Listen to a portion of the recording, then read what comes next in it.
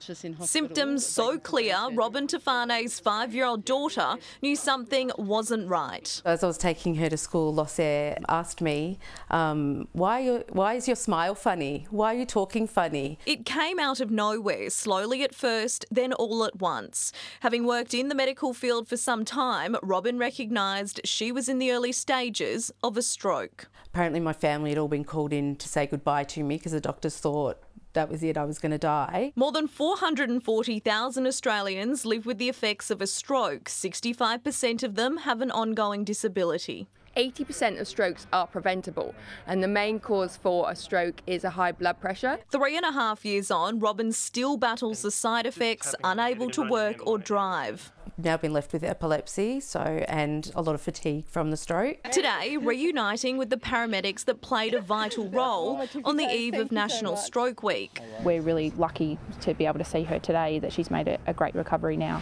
Someone in Australia suffers a stroke every 19 minutes. It's one of our biggest killers and the leading cause of disability. It's a quite a common call that paramedics will go to.